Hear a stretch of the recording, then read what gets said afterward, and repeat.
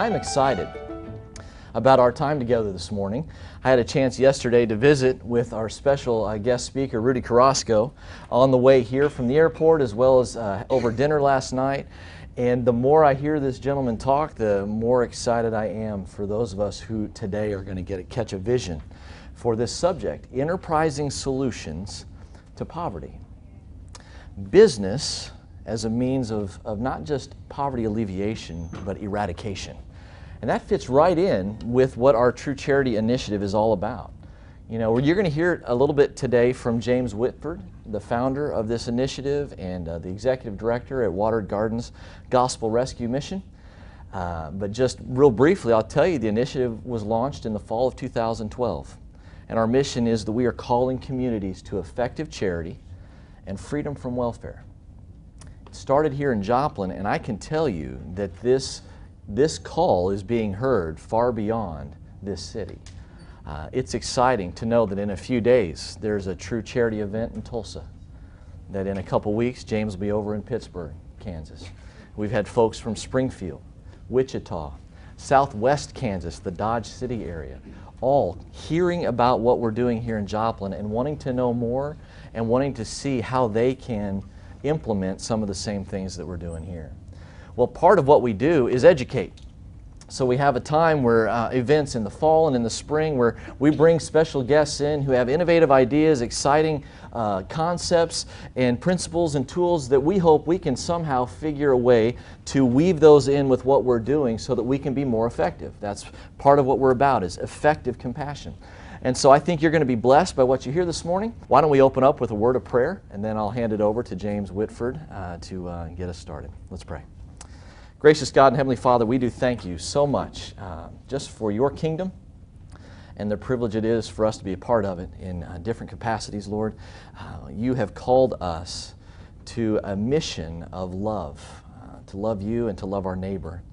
And we want to do that well. And Father, I just am uh, excited to hear of ways in which some, some concepts that maybe have uh, negative connotations in our modern day. Some people think of business and they think of uh, the corruption of business with uh, how greed can, can come into play. And uh, Father, but their business is an opportunity for our creative capacities to flourish and to bring honor and glory to you. And so I pray, Father, that we'll get a new uh, vision for the ways in which uh, poverty can be eradicated through business opportunities at different levels that I know that uh, Rudy is going to share with us today. Father, I also thank you for James Whitford and his uh, vision for this initiative, his leadership. And Father, as he uh, begins to share with us this morning, I pray that we would all just be able to hear clearly what he is intending to communicate, that what he says is what we understand, and uh, that this will spur us all on to greater action and uh, greater thought and, and greater cooperative effort here in Joplin and in the surrounding communities. And Father, we pray that this initiative would spread. This is our uh, prayer in Jesus' name. Amen. All right, if you would, let's welcome James Whitford.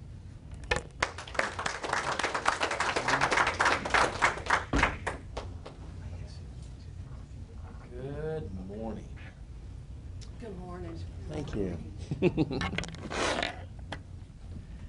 Travis was Travis was talking about a rippling effect earlier.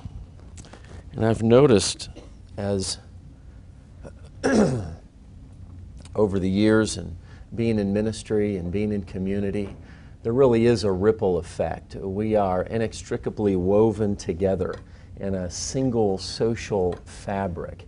And all of our actions have some sort of an effect on one another, whether they're actions that are charitable or non charitable, virtuous or non virtuous uh, productive or unproductive, whatever the actions are, there's a ripple effect that happens.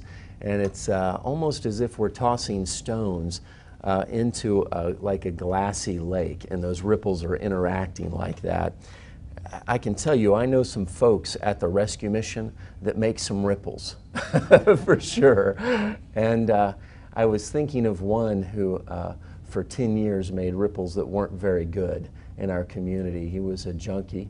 He was homeless on the streets, and um, we loved him, and uh, we encouraged him, and we ministered to him, and we challenged him, And uh, we entered into relationship with him. He came through our doors one day desperate after about 10 years of this running, you might say. And, uh, and he said, I, I need change. And so we took him down to the treatment center.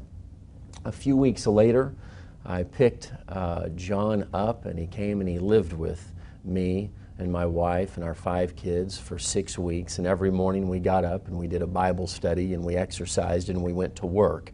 And it's amazing what just getting up in the morning and doing a Bible study and exercising and going to work can do for a person because, you know, a year and a half later now, he's still employed, he's self sufficient, he's got an apartment, his whole life has been transformed. And in fact, next week he'll be on the radio speaking to thousands of listeners about how he rose out of poverty and dependence on welfare to self sufficiency and productivity. So he's still making ripples, isn't he? Amen. He's still affecting other people, and now he'll affect many more people. But the ripple effect wasn't always a positive one, it was a negative one. But we entered into relationship and loved John anyway. Now, to a great extent, I think that many people in our country today are uh, trying to shield themselves from some of those negative ripples. And in that attempt to isolate, we are creating a divide that widens even more so causing there to be a greater divide between the haves and the have nots. And in fact, uh, the divide is not merely an economic one, but related and more important, it's relational. And I think that at the extreme ends of this divide, what we see being formed in our nation today are paupers and tyrants. Solidarity it's an interesting word. Collins Dictionary of Sociology defines it as the degree of integration between two people groups or the level of integration among people. The root of integration is integer, a word that indicates a whole or a single. And consider that in any single whole life, there are millions of processes at work. A healthy person uh, is one whole in which every cell is producing and consuming. There is exchange happening among with that cell among all the other cells in the body. So exchange is absolutely necessary for a healthy body and exchange is absolutely necessary for a healthy community. Exchange is key and I believe it's the true mark of solidarity. Now, we often think of solidarity with the poor as the act of living among the poor. But I think that simply living among the poor does not necessitate that we're in healthy exchange with the poor. I think we can live among the poor and not be in right relationship with the poor, not be in healthy exchange with the poor. I think that could actually be a type of gentrification. So I had a moment one time of profound exchange about five years ago I found myself in a situation where I was on the streets. I uh, did not have any money. I did not have any food, and I was hungry. And there was a guy named Ralph who was homeless that I was with that day. Ralph had a brown bag with a sandwich in it, and uh, it had been cut in two. I remember it was a white bread sandwich and it was triangular cut. And Ralph said, would you like half of my sandwich, James? And I thought immediately, Oh no, I would never take that sandwich from you. So, and I think subconsciously I might tack on, You poor, homeless, hungry, helpless man. I would never take that sandwich from you, right? Mm. So it's, it's not a thought that was prominent in the forefront of my mind, but I think there was some aspect of pride that was trying to rise up there. But I was hungry that day. And I took Ralph up on his offer and I ate the half a sandwich that he offered me. And it's amazing how a pious facade will crumble mm. when a homeless man feeds you when you're hungry. And it was kind of a life changer for me. Now, I thought that's a pretty good exchange, but really, it really wasn't exchange, was it? It was a unilateral transaction. It was Ralph giving something to me. Now, we know, I think we've learned, if you've been with us for any length of time, that repetitive unilateral transactions are not good. How many of you have read Toxic Charity? Okay, so a handful of us in here have read Toxic Charity by Robert Lupton. And he goes over five steps to dependency. Um, and here they are. I'll give them to you. You give once, it creates appreciation. If you, if you don't know these, you'll want to write them down because everybody wants to write them down after they hear them. Uh, if you give once, you'll create appreciation in a person. You give twice, anticipation. Three times, expectation. Four times, entitlement. And five times, you'll create dependency in a person. It's the five steps to dependency. Now, so we've learned that uh, about that detriment to the recipient of such repetitive charity, but if I'm correct in my assumption that in this social fabric there is truly a reaction to every action, then the recipient's not the only one who plummets in the repetitive, ineffective charitable transaction, but the giver will as well. Right? This is where we started. Every stone, every action tossed into the pond has a ripple effect that's affecting others. For us to think that if we give five times to somebody right in a row that it creates dependency in them and that we're not, and that we're not affected, I think that's wrong. I think we are. And so I think it goes something like this. I give, let's say you, you give something to somebody once, they feel appreciation, you feel exhilaration. You give something to somebody twice, they feel anticipation, like we discussed, and you feel purpose. You do it a third time, they feel expectation, you feel necessary. You give it a fourth time, they feel entitlement, you feel essential.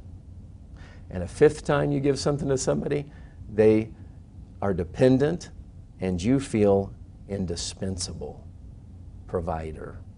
It's like the five steps to dependency has a counterpart for those of us that are involved in what I would consider sloppy charity, where it's five steps to paternalism.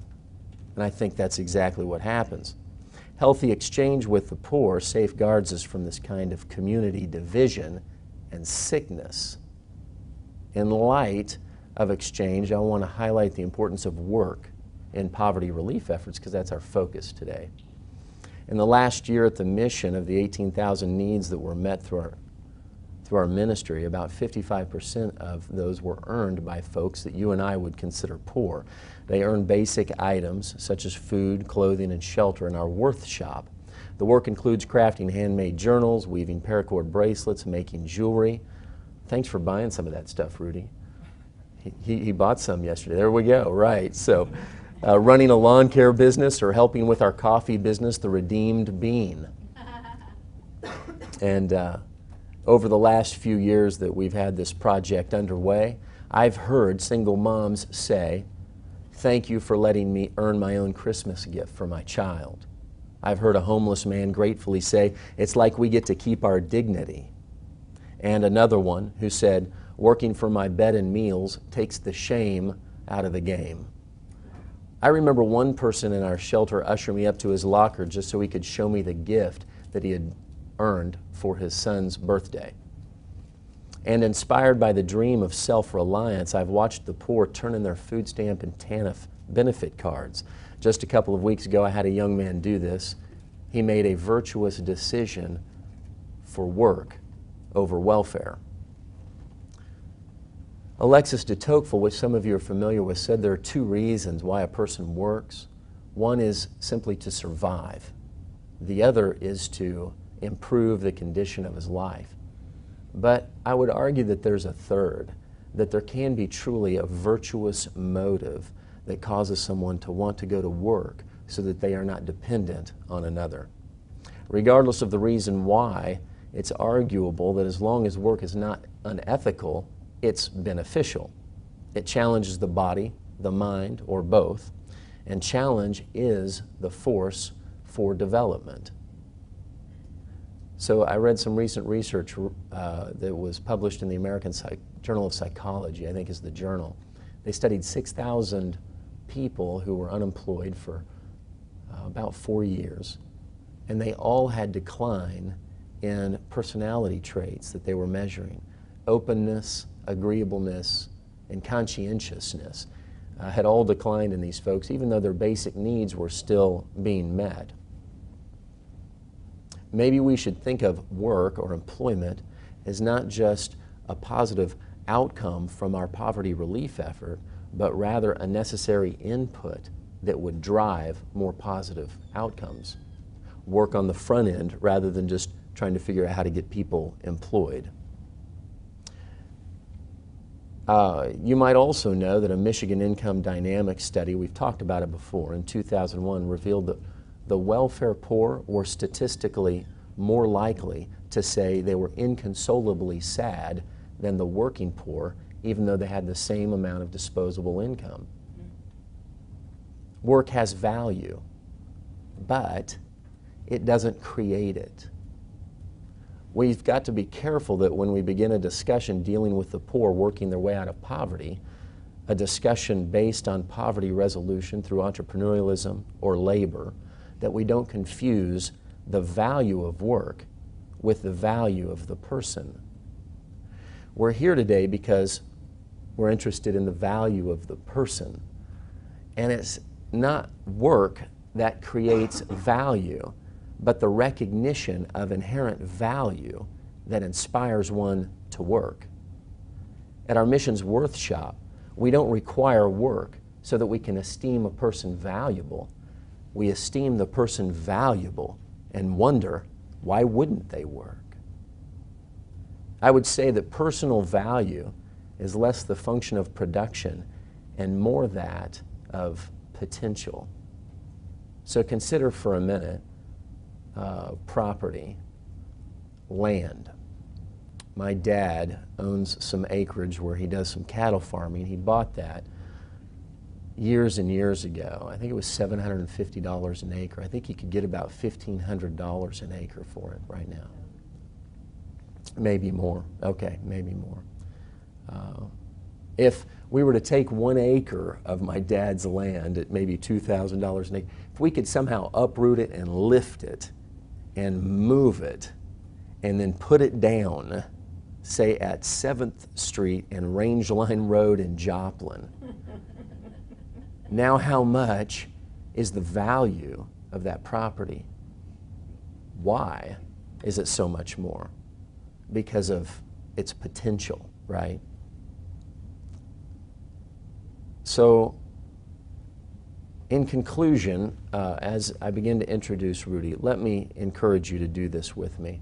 Imagine a community in which the poor are realizing their potential one in which those that have merely subsisted in a state of poverty, sustained by welfare and ineffective charity, are awakened to their inherent value, awakened to dream of more than just self sufficiency, but even to enterprise, and maybe to enterprise solutions that would help us all.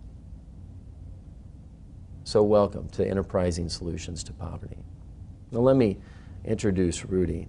I have some stuff here I'll read to you about him, but I want to share with you that when I, the first thing, the first time I remember thinking, I, I really like this guy and I want to be his friend, is when I heard him on a, it was either in person or on a video. I, I know he says it on a video, but I think he said it in person at a class one time too that I was attending in Grand Rapids. And he said, uh, you know, he was raised in East LA. Uh, he was in poverty, and uh, and growing up as a kid, he uh, he realized all of a sudden that God has a heart for cities. And when he said that, it just resonated with me, you know, because we're talking about God touching our communities, helping us change for the better our communities and our cities. And uh, so that was so exciting to hear from Rudy.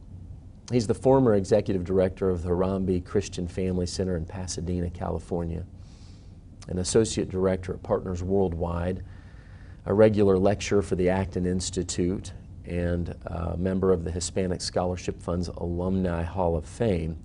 He serves on the advisory board of the Christian Community Development Association as well. He's a graduate of Stanford uh, with a BA in English. Uh, Rudy's essays have appeared in such places as the LA Times, Christianity Today, and Religion News Service, and various other journals. In 2001, he was among a small group of Hispanic religious leaders from around the country who advised President George W. Bush on faith based initiative, initiatives. And in 2002, he was inducted into the Hispanic Scholarship Fund's Alumni Hall of Fame. Would you, yeah, wouldn't you, right? Well, you'd expect that after that, right? Would you welcome Rudy, please? Thank you.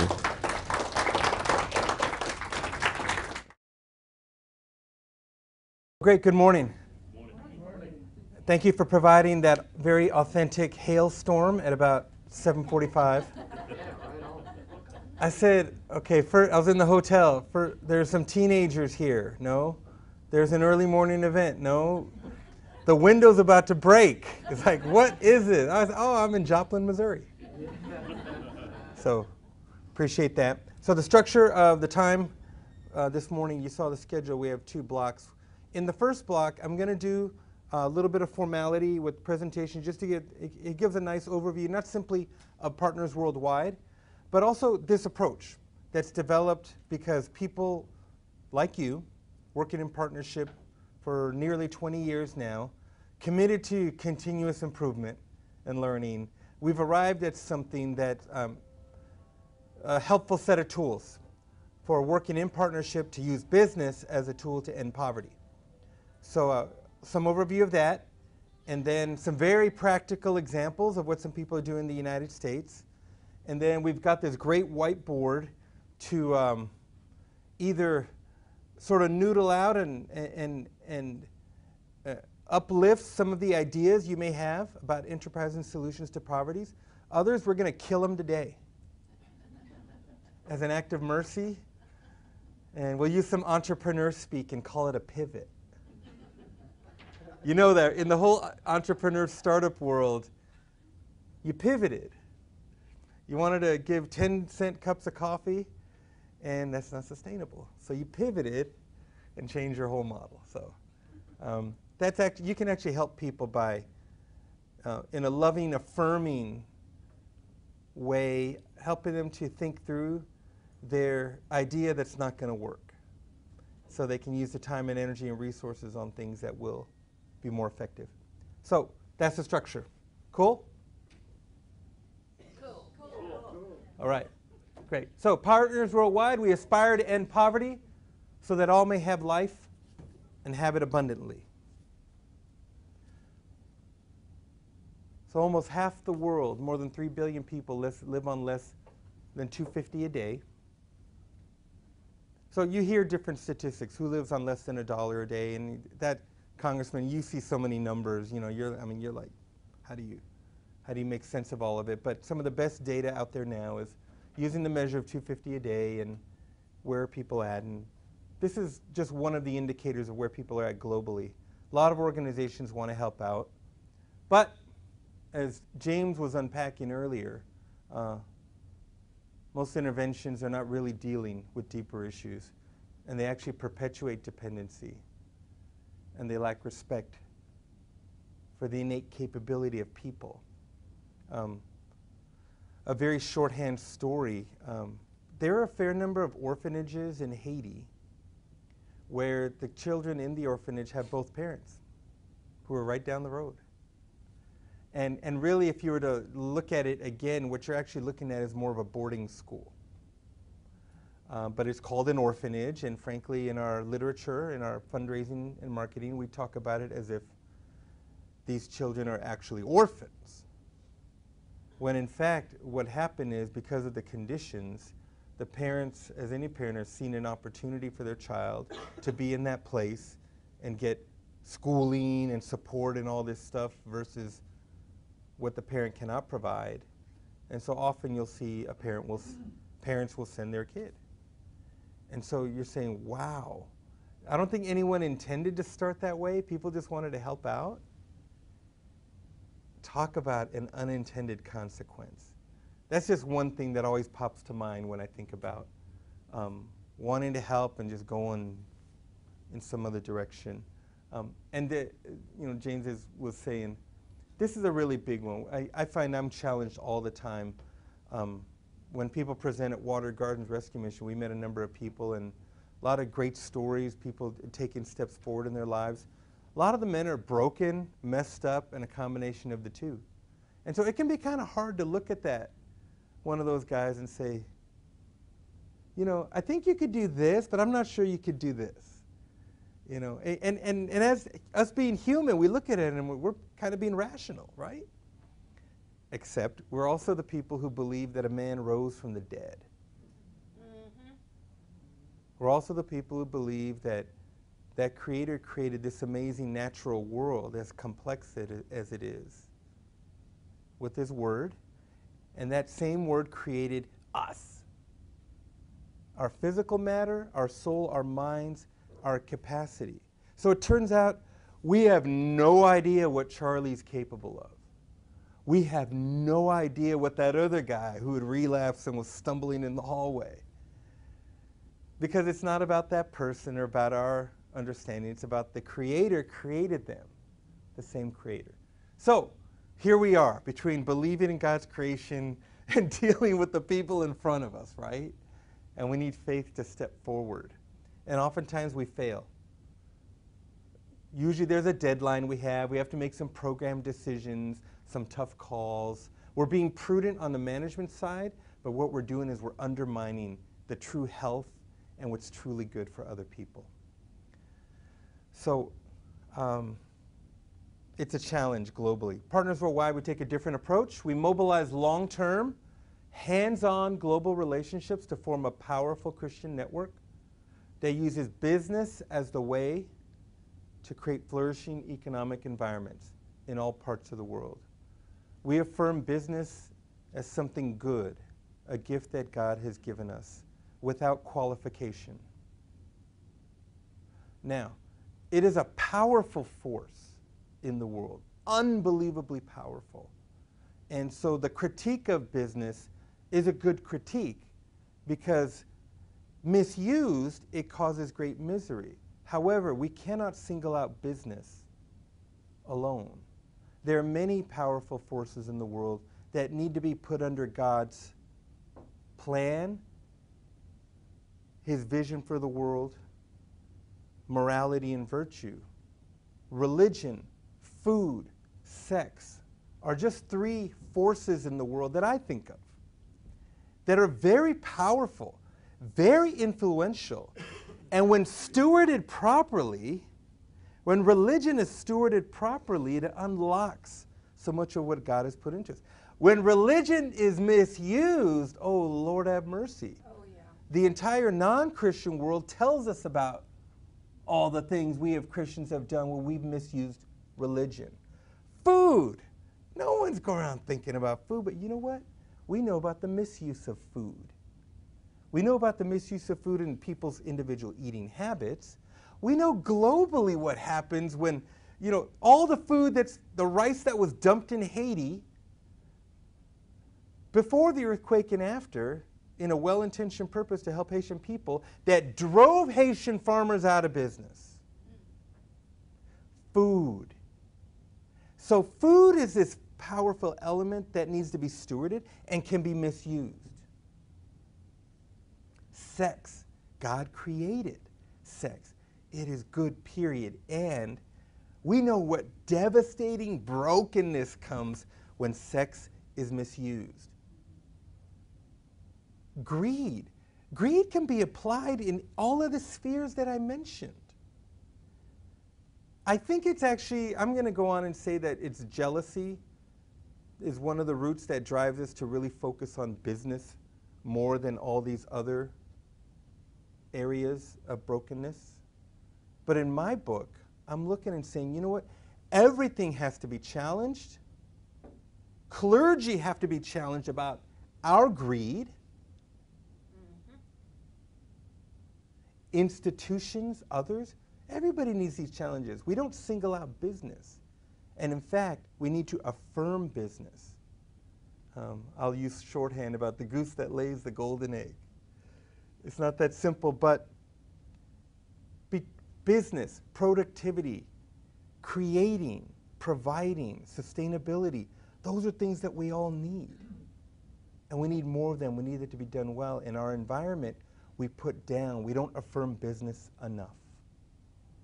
So we bring, as Partners Worldwide, an unqualified affirmation that business is a tool to be used for God's glory.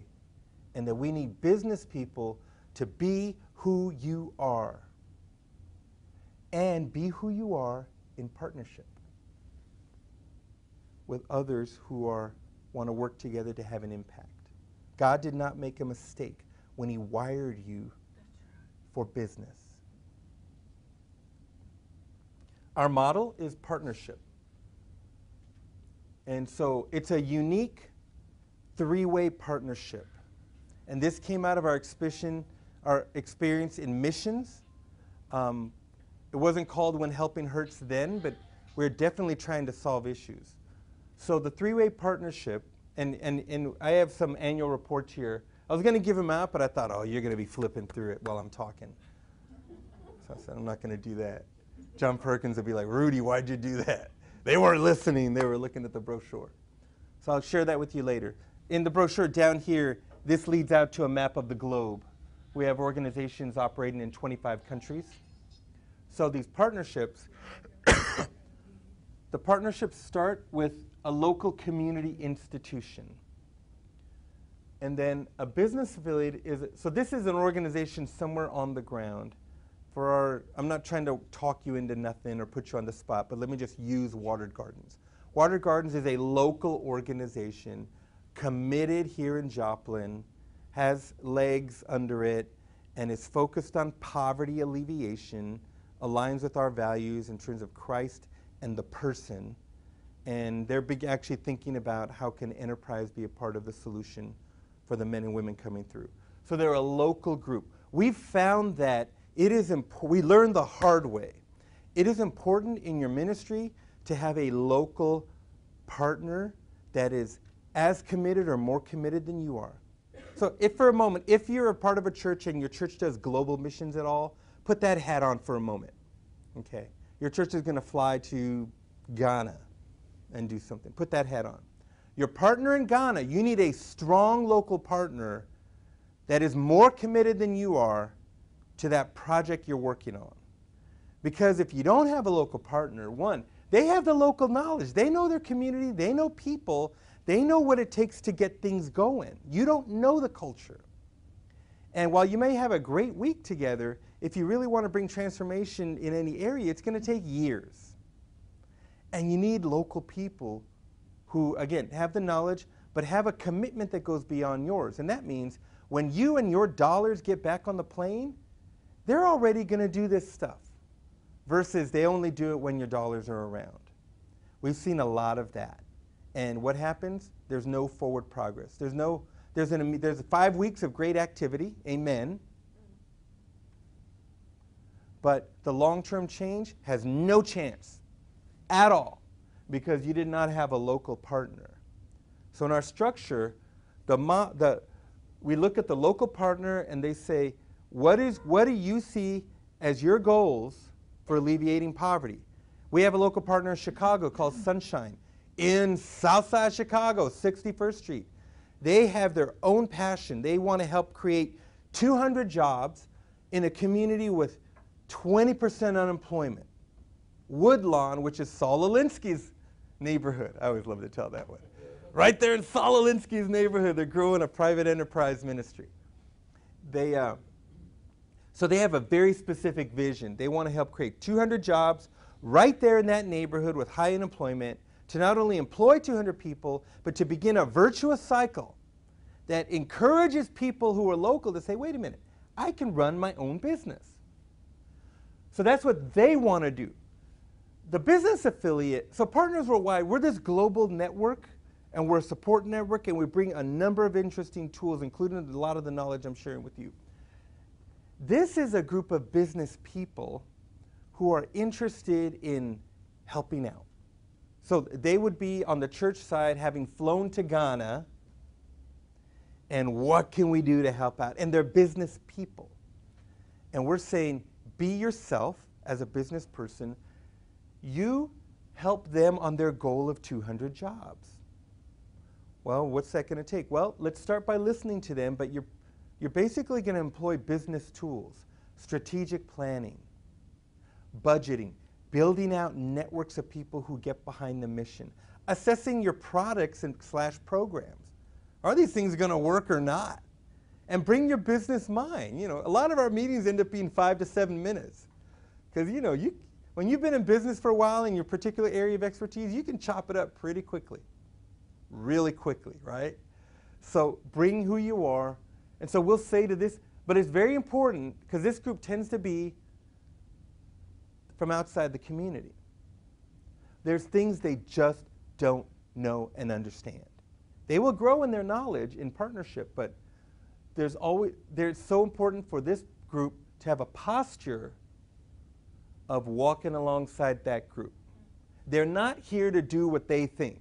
You know, right now we've got a guy who has a really beautiful model of a computer thrift store.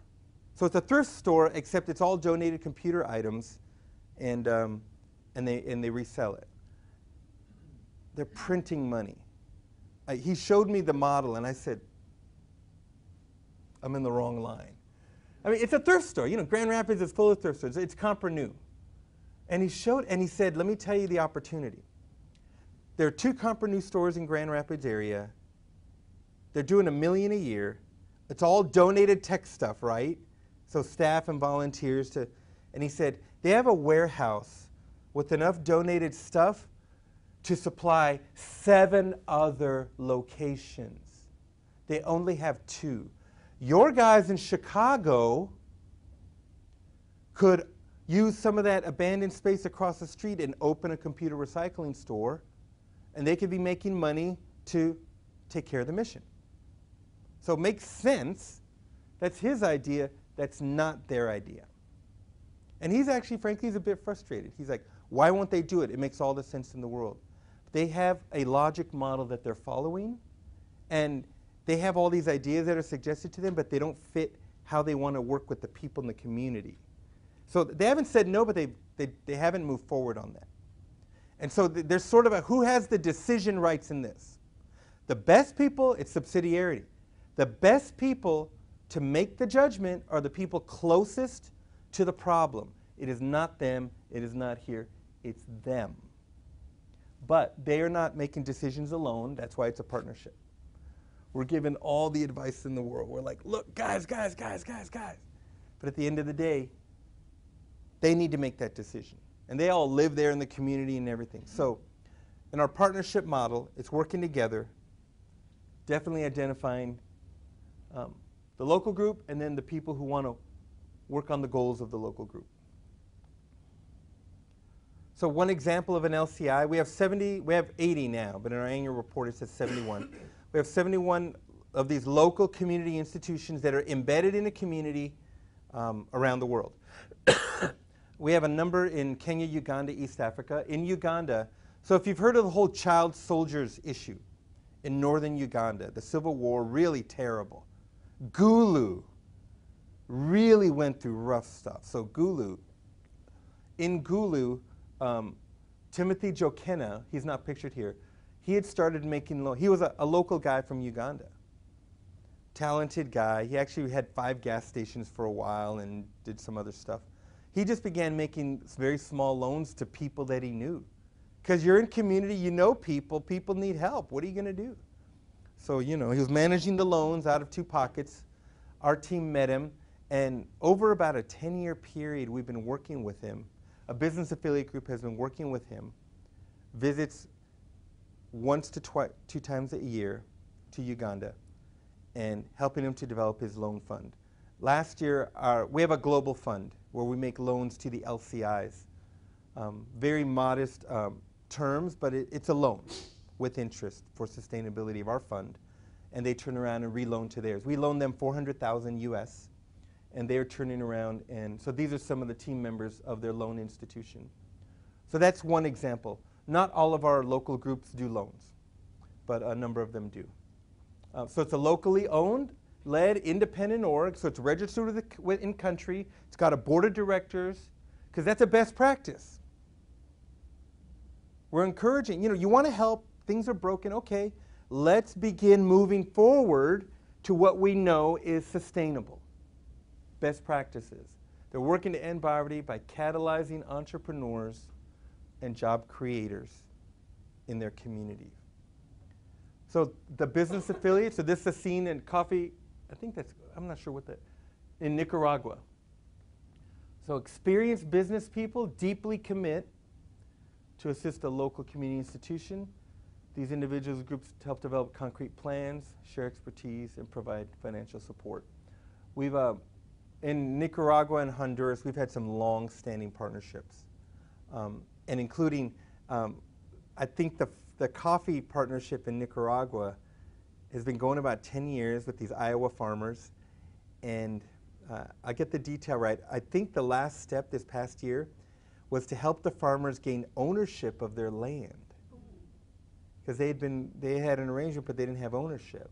And that can be its own you know morass you know legally as well as getting the capital but they made i think the arrangement was that the iowa they made their partnership agreement signed the iowa farmers made purchases and then the farmers have been purchasing paying off the land but getting a hold of title to their own land so that talk about a systemic intervention so it's one thing to help them be a better farmer and increase profits. Another thing to help them get ownership, right? And it takes a while. It takes a while. So, um, but it's, it's a beautiful story. So Partners Worldwide, our sta- so this is my, I'm a regional facilitator for North America for the U.S. It's in mostly the U.S., but I'm technically Canada too. And we actually have a group in Canada, a, uh, a woman from, I think either Nigeria or Ethiopia, settled in a Toronto suburb, and she's been doing support for women entrepreneurs who are primarily refugees. And she has interest in joining our network. So they haven't formally joined, but I'm like, and Toronto's not that far from Grand Rapids, and it's Grand Rapids is cold already. I mean, if I was in California, I'd be like, Toronto, no. But so, uh, but Bob is my peer. He's the Latin America regional facilitator. He lives in Managua, uh, but he is over Ecuador, we have, a, we have partnerships in Ecuador, Guatemala, El Salvador, Honduras, and Nicaragua. Um, so we're at the heart of partners. We identify new LCIs. We orient the business affiliates. We facilitate existing partnerships. Um, and we use annual planning tools. We have an online hub. It's a Microsoft SharePoint site for recording metrics, uh, managing financials, and keeping our global body of knowledge. Uh, so we work on, here's the, the bigger graphic I was showing you. I just like the graphic. It was, you know, sometimes you do a rebrand and something and it's not so good. This, this, is, this has helped me do my job. Let me put it, I told the team, I said, thank you. So we have groups all around different parts of the world. Um, Southeast Asia is a region, India is its own region. Africa has three regions, uh, West, East, and South. Latin America. Haiti and the Caribbean is its own region. And then United States, uh, North America. So that's what we do. We create partnerships with local community institutions, removing obstacles, building up permanent local capacity designed to catalyze entrepreneurs and job creators, and celebrate business as a calling to do God's work. So the strategic activities we encourage all these partnerships to be involved in are training, mentoring, advocacy, and access to capital. So this is a business a professional at a large church in Cuenca, Ecuador. The church itself has been hosting business training classes using our curriculum, which is translated into seven languages now, so in Spanish. And they're getting a lot of non Christians who will come. And it's been a very nice thing because the business training is solid business training that our team globally worked on in iterations over a number of years. Uh, and, and of course, it's a great opportunity to share the gospel. And they work it out very well. They, they're very clear, like, you know what? We're not, this is not a bait and switch. We're not going to like just talk, you know, it's the class is what we did. There's biblical basis for business, and then business chops and strengthen your business. So training is important. Mentoring is just huge. Is just huge. This is mentoring sort of this big word and it means so many things and we want it to mean all. It's relationship.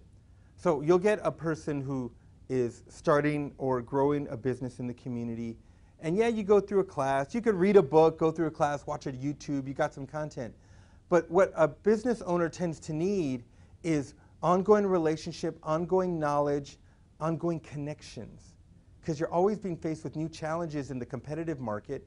You're always learning about your own business, you know, and you need to talk to people who either really know precisely what you're doing or can help you on some things more general like HR. Um, and people that you trust and people who actually care.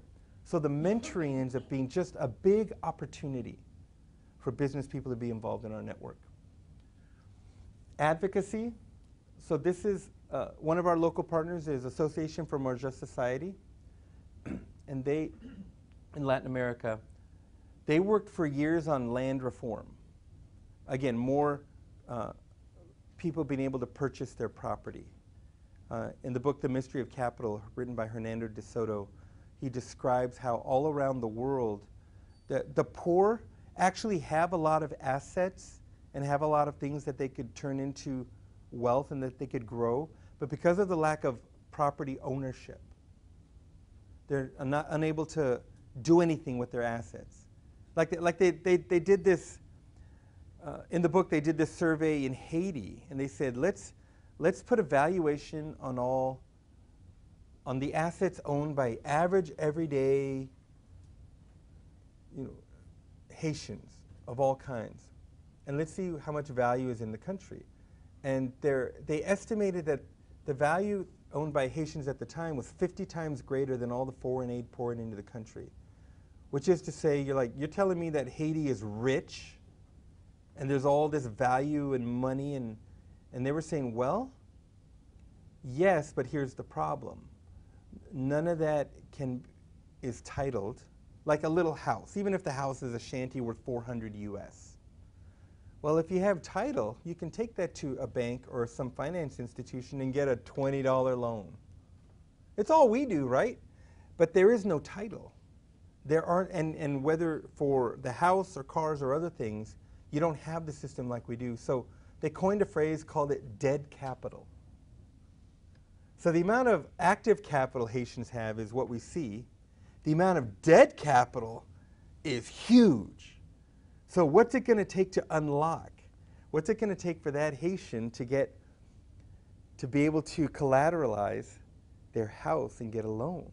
Well, it's going to take reform of the system, which is just sort of a wah, wah, wah, just a downer of a because it's so huge, right?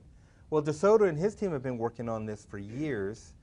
And the team here, these lawyers, I think it's Honduras, have been working on this same issue of title reform, land and property reform. This is one of the women in the network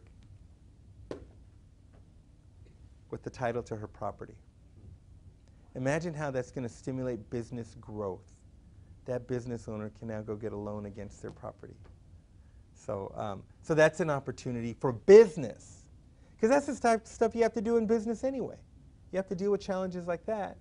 Well, be who you are with what you know in a context of poverty that, where you can really unlock opportunity. Access to capital, we raise capital so local community institutions can fund the dreams of individual entrepreneurs, small and medium sized businesses. Um, in Kenya, so the Global Fund, again, we make loans to the LCIs. And for the most part around the world, those groups that are doing loans, those, they're still pretty small loans by our standards and even over in the countries where they're at. We started something new, um, called it the, the Middle Market Initiative. Pretty small fund, like two and two and a half million. Um, but it started because it, uh, people like this, I don't remember his name, he's in Kenya. So his business had grown. And what he needed, he needed larger, um, a larger amount of loan than a lot of the microfinance institutions, finance institutions could provide. Uh, at so, you know, the harbor in Kenya, So I was saying last night at dinner, I, I get to hear so many interesting things around the world. Um, getting things in and out of the harbor is really terrible. And things will be held up, bribes, all this stuff. Haiti, same thing.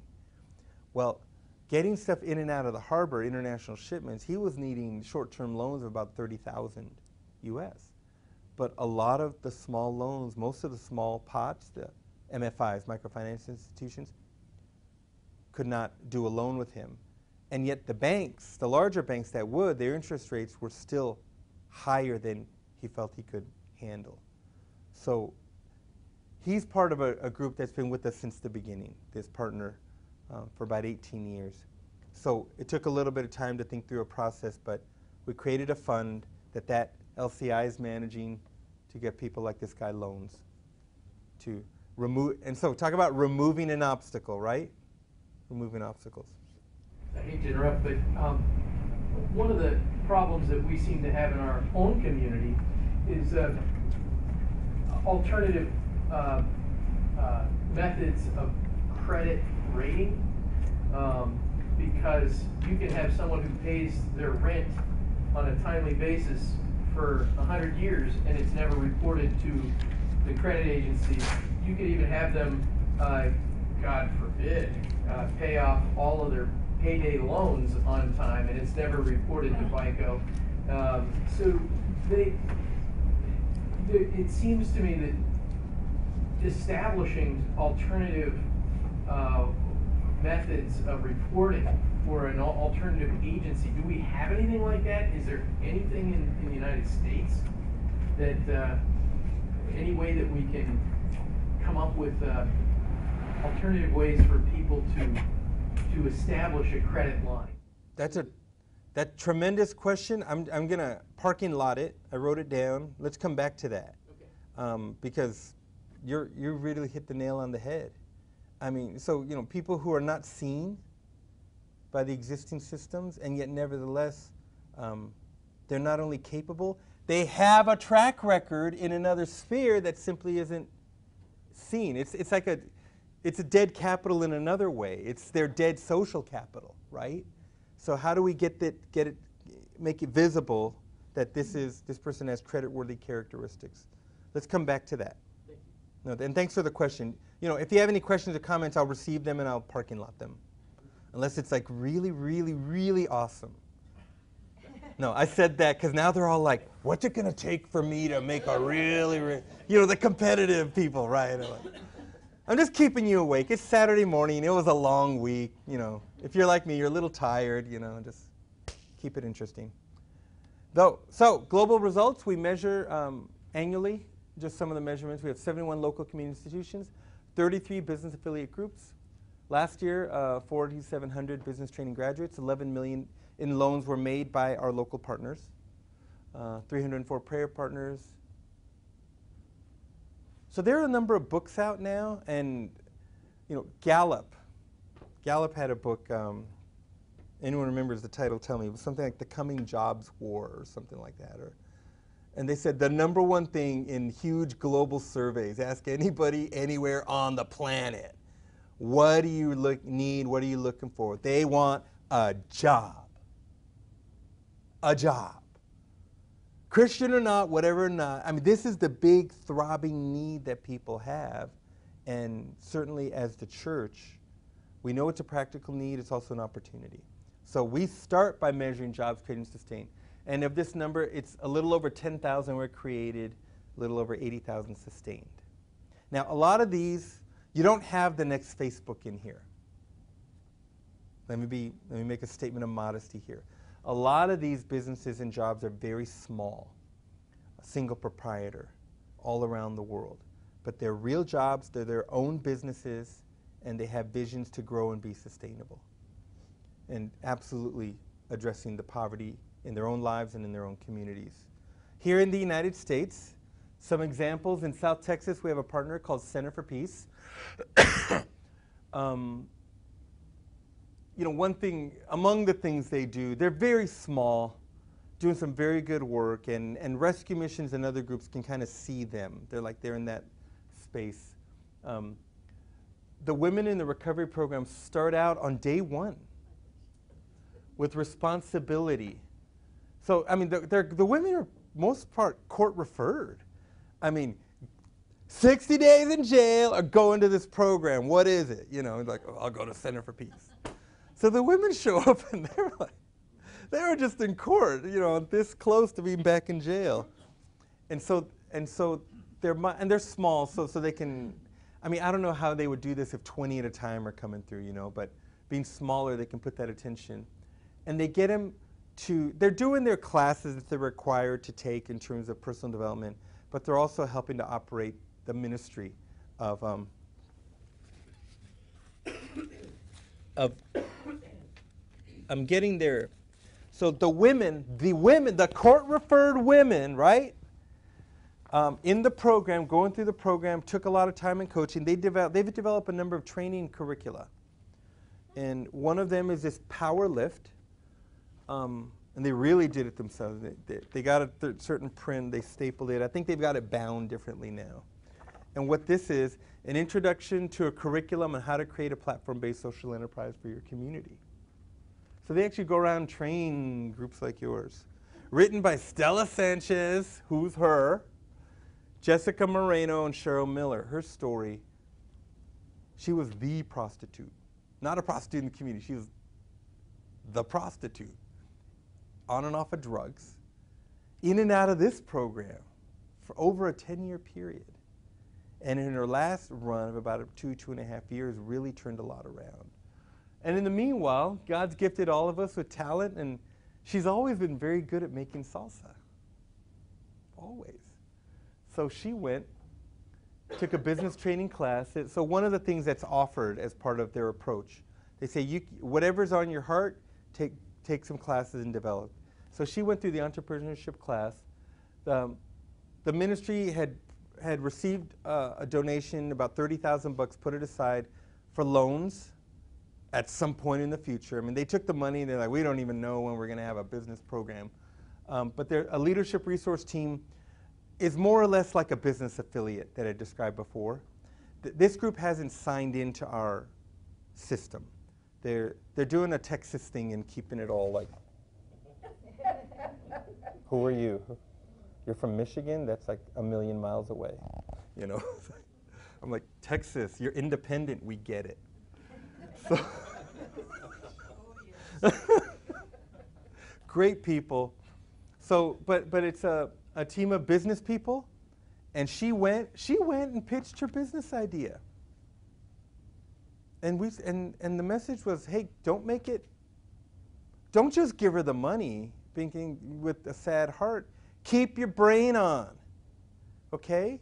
But but bring bring a little bit of a deeper, you know, effort. So they said, you know, you're not ready, but they gave her a list of suggestions. She went back and worked on it for about six weeks, came back and repitched. And they said, you know what? We actually think you could do something. They approved a $2,800 loan. She wanted to do grow her own tomatoes, hydroponic garden. So uh, they approved the loan. And but you see, they, they brought their business expertise to that. And but they were patient with her. They coached her along. And you know, I know a few of those guys. I, the value of that, those hours alone, that was a huge investment for them. And so we need that sort of thing because she's doing well. The business is growing. She just got married.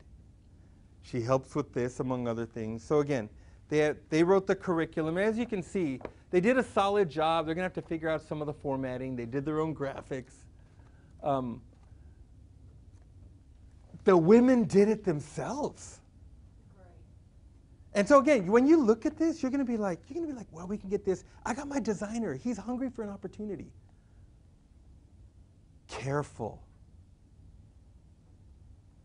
Because yes, the designer, Christian brother or sister is going to do a great job, really help them, opportunity for them to serve. You could totally undermine the women. They're just building their own confidence in doing this. We're being patient. They're going to have to develop their own graphic design thing. Maybe the women reach out to the guy. Let it be the women that reach out to the guy. They have to have the decision rights and the ownership. That's going to build them up inwardly. You could totally kneecap them, cut them off at the knees, break their spirit, just because you, you could really help it. What can I do to help? It's so subtle. And I'm pointing fingers at you, but there's four, three pointing right back at me. I'm talking all this stuff. I'm the worst. I'm the worst offender at this stuff because I want to help. I want to be involved. But it's beautiful what's happened there in Texas. In Mississippi, uh, we have a group called Gulf Coast Business Partners. So Denny Vandermolen is a business affiliate. And these are two uh, women who own businesses. They don't lead the LCI, they are businesses that were trained in the, the group called Gulf Coast Business Partners. So this group has a vision for create hundreds of jobs along Mississippi's Gulf Coast. Uh, that area was really hit hard by Katrina. I mean, you know about disasters and and you also know about when government swoops in. I mean, around here, I don't. I'm not going to start in on a whole government deal, but um, you know, it's a risk. Um, and so they, they're actually inking a deal this month with the city of Moss Point. I don't know if you've been down that area at all. You know, here's here's New Orleans. You start in over the Gulf Coast, Gulfport, Biloxi, and you're kind of moving in, and there's this whole little area. Moss Point's over here. So Moss Point is the poorest city in that area. Got a really a lot of challenges. And Gulf Coast Business Partners is going to do a business training. Get this. So the Win Job Center. So people who are unemployed, receiving benefits, part of the whole deal of what are you going to do to take some forward steps in your life includes going to the Win Job Center. So the Win Job Center, there's going to be recruiting for this business class. Now, it's only one source of recruitment. They're doing all sorts of recruitment all over the town. But the local officials are really interested in connecting people who are receiving benefits and looking for opportunities and saying, you know what, not only can you find jobs here at the Win Job Center, but here's a business class, maybe you can start your own. So they're just cutting that deal right now. Denny's been advising them on how to structure that. Denny, he's a, he's a business owner of a Vermeer tractor dealer. He has five dealerships um, in Mississippi, Arkansas, Louisiana, I think Shreveport, and Memphis. And there's two, I think, in Arkansas. uh, Christian guy, he's been involved with our network for a number of years, loves this stuff. So what he's been doing for about a year is that one day a month, he puts aside, he drives from Jackson where he lives, two and a half hour drive to Gulfport, leaves around six in the morning, and spends the whole day just going and visiting the businesses. And look what he ends up doing. The Blush Boutique is a fashion retail. I think this woman has a, a hair salon. He's a tractor dealer. I love it, you know. So I mean, the first we have this photo of him when first showing up in the in the in the hair salon, and you know he's in the photos he's just rubbing his his you know his scalp, right? And they're like, well, but you know it turns out that management is universal, right? Management principles are universal. Keeping up with your finances, principles for that, universal stuff. Goal setting, strategically looking at your market, universal. So he's had a great time building relationships, building trust. Um, in Chattanooga, so talk about prisons. prisons are full of a lot of prodigal sons. Yeah. There's also a lot of talent, a lot of brokenness. So it's not just like Mark Zuckerberg sitting there waiting to let be let out of the, the prison and to go start the business. You know, people's lives. There's a lot. You're in prison for a reason, but there's a lot of opportunity. So we have a partner launch. They're focused on a high unemployment area, 25% in South Chattanooga. Um, these numbers have all shot up because th this was a present. I created this slide in October. Um, I would say that's over 200 people, and yeah, they're up to about 90 businesses started. Um, and the cumulative economic, I think, was over 2 million. And these are just a lot of small businesses. So Julius had been in prison for five years, uh, came out, uh, had recommitted his life to Christ, was trying to do everything right, had old, old child support payments. He had two and a half jobs, still struggling. And if you know that story at all, I mean, yes, people need to repay their debts to society, but we have huge problems with our systems that create additional problems for men and women. So here's a guy living in virtue, trying to do what he can. And so he'd always had a dream of, of some sort of business, and his first thought was a restaurant. And so you find this in urban areas and lower income areas, where people are good with food. You know, Stella, right? Salsa. You hear about restaurants all the time, and at the same time, it is tough to sustain a restaurant. But he had an idea of a restaurant. In the training, he had a pivot. Because good training will help you to think through your idea and run some numbers. And, and they and they said, you know what? A restaurant will be kind of tough, but what about mobile? Mobile food is growing as an opportunity, and you can drive down your cost. And so he made that pivot, did his planning, um, needed to get a truck, and it was amazing. Somebody had a oh yeah, we don't have the big truck photo, but uh, the leader of the LCI, Hal, was at a, me- a meeting in town, and uh, somebody had an old sort of county fair type of truck they're trying to get rid of, and and they were like, hey, you know, pitch that, you know, on a trailer, and that could be as mobile for free, right? Right. So what happened is had a, it had a big old funnel cake sign on it, sign on it, and his business is, was called All Dogs and More, hot dogs and, and more, not funnel cakes. But he has this funnel cake sign, right? So he's out there and he's business, he's in business, and people would come by and they'd see the sign and say, "I want funnel cake," and he'd say, "We don't have funnel cake. I'm sorry. We, you know, we just got this, but we got hot dogs, we got burgers." I was like, "You don't have funnel cake? Oh." That kept happening. Finally, the person comes up and he says, Come back tomorrow and I'll have your funnel cake. The funnel cake is his biggest margin, profit margin item. Wow. He cleared over 120,000 in his first year. That is his wife, that's his daughter. So in Joplin, um, we're about to head into our break. So I've loaded you with a lot of information. I'm going to load you with these last two slides, and this will lead into some discussion in our second session.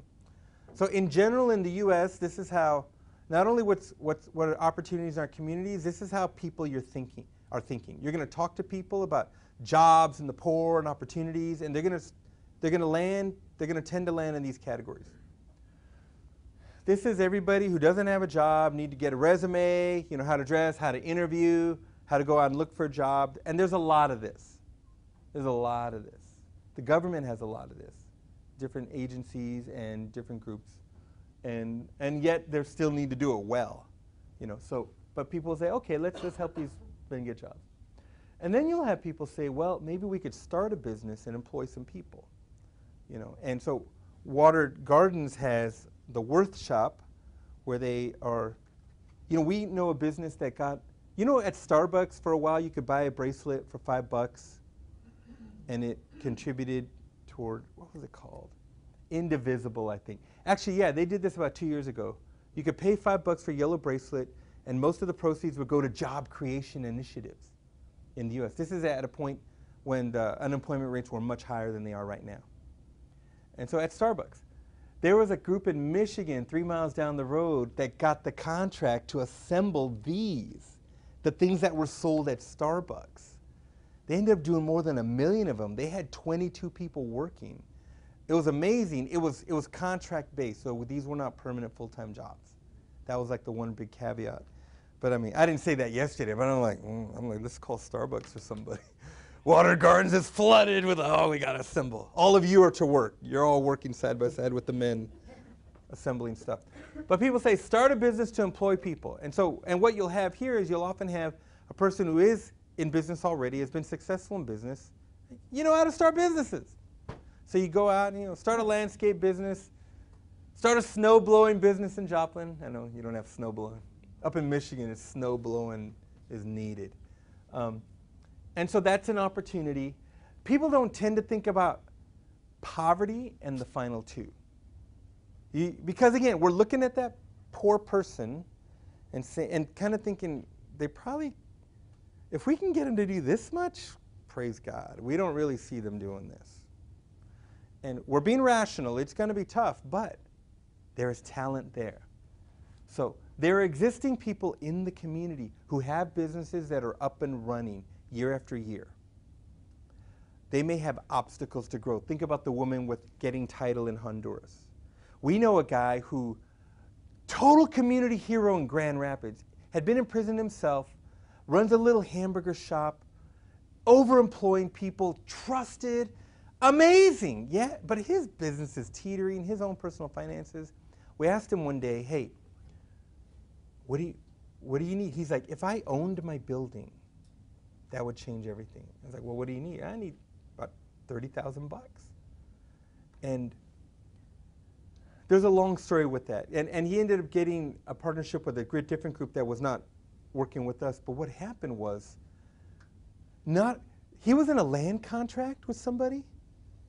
He was in this deal, paying rent but supposedly getting ownership. It was weird. A banker at, at the local Christian men's group came through and said, "Let me look at your papers." So this guy put in a lot of time, and he called a meeting and he sat him down and he said, "Look."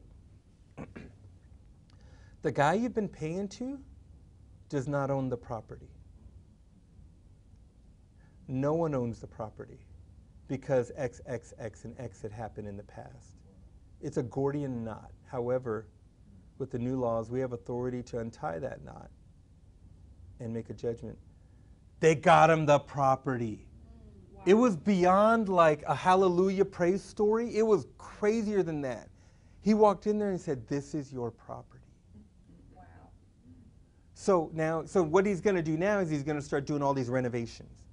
I was in there, he's like, I'm going to do this, this, and this. And I was like, because the place is still about that big, right? But, eh, but it was amazing. So starting a business, uh, so that's this guy. But when you see, like if this guy walked in the door, none of us, me included, would think this guy is an owner with a number of employees running a solid operation. You'd be like, can we help you? you know, really, like, we'd love to help you. But people can start their own business. People have a dream. Stella was in here. She had a dream. Went through some training, has long-term relationship and support. I had to say this for you. Springfield, an hour away, Schweitzer United Methodist Church has a big food pantry. They've been supplying 16,000 people. They're 11 years in. They asked the question last year. They were being very efficient, good stewards. They had, they really, they were being honest, they had no idea if anyone was experiencing transformation. They had no idea if any of these people were really changing and getting out of their situation. So they're in a long-term continuous improvement process to think about, and their, their iteration, which is at my blog, they're, so now they're tracking people, and when, pe- when they see that a person has come in the second time, then that goes into, I think, it's more like the partnership concept that you said. Like, like now, you're more in a part where, where there's exchange. But part of exchange is they're going to encourage people to join a class. There's a healthy cooking class, a Bible for beginners, intro to money, jobs for life.